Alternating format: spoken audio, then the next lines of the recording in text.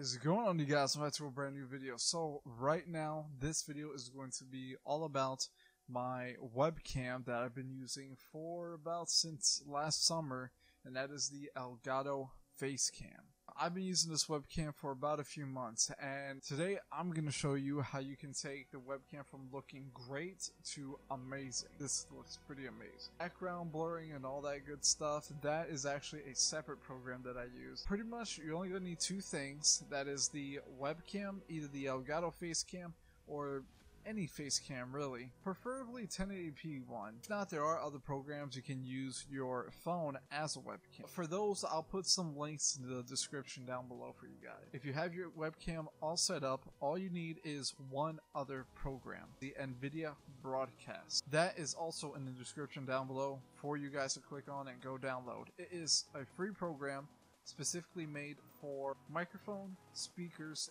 and camera. So assuming you have everything set up and downloaded, let's go ahead and show you what you need to do to get your camera looking like this. Okay, first, like I said, you're going to need NVIDIA Broadcast. So once you click the link down below, it'll take you here. All you have to do is hit download now, go through the whole official Express setup, and then once you're done, it should look like this. Uh, right here on the left, you will have to go ahead and select the webcam you are using. Once you do that, then down here you just select the resolution. For me, this face cam allows me to do 1080p at 60 frames, so that is currently what we're using right now. And right under that, once you have your webcam set up, you're going to go ahead and see effects category. Now, this is where you get the blurred background without having a green screen. I have no green screen back here.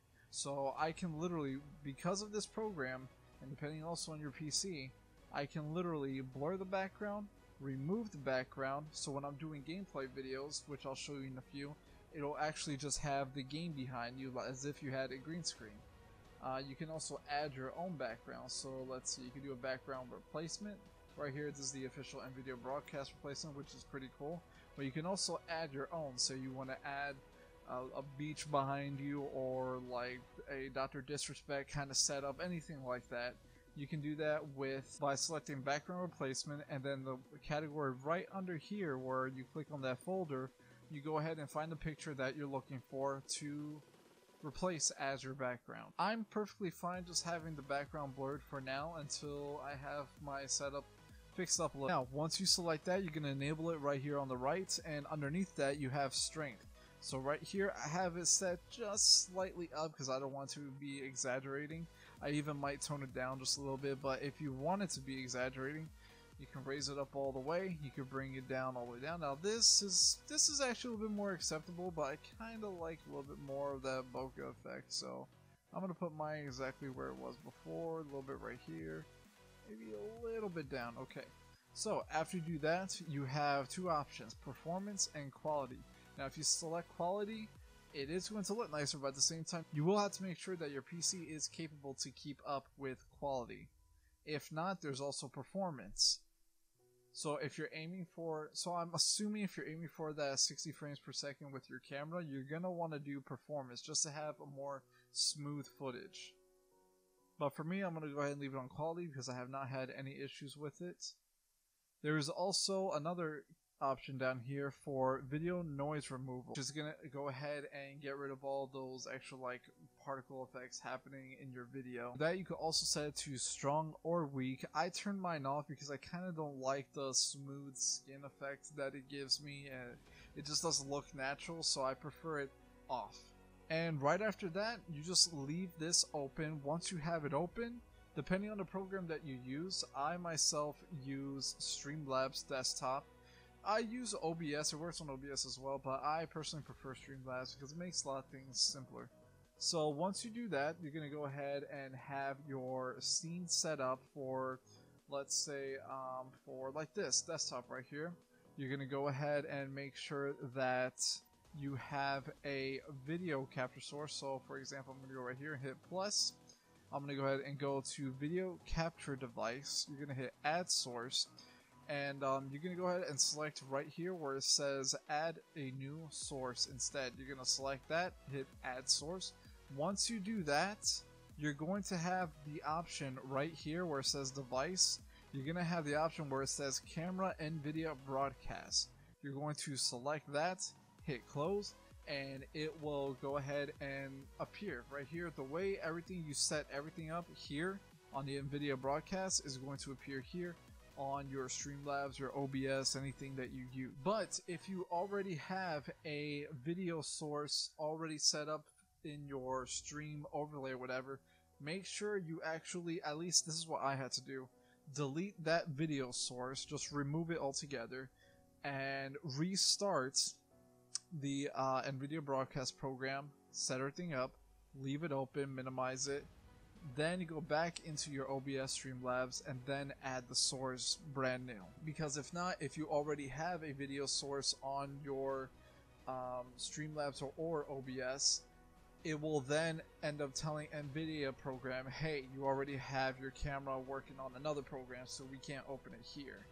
So, like I said, just add a new source altogether. Remove the old one, add a new. Now let's go ahead and see how this looks during some gameplay. Right now I have Horizon Zero Dawn running on my PC and let me go ahead and move this to my second screen here. Okay. So, normally this will be okay, you know, like the video looks a little too big, you always minimize if you go down here. This is typical setup, you know, for standard webcams if you don't have a green screen. Um, but I would like to just have the gameplay behind me.